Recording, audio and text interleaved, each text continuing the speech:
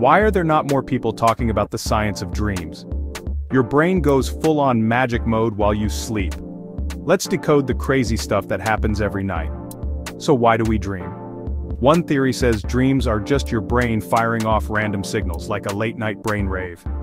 Another idea? Dreams help you sort and save your memories, especially the emotional ones, so you're not just dreaming, you're actually studying, sort of. But wait, there's more. Some scientists say dreams help you work through feelings and keep stress in check, a built-in emotional support system. And get this, your brain might be solving problems in your sleep, connecting ideas you'd never think of awake. During REM sleep your visual cortex paints the pictures, the limbic system cranks up emotions, and your logic center? Yeah, it's basically on vacation.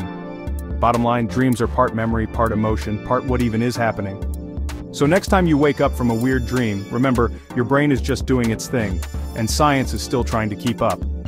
If you enjoyed this quick dive into the science of dreams, don't forget to like, subscribe and share with your friends, so you never miss out on more mind-blowing science in 60 seconds.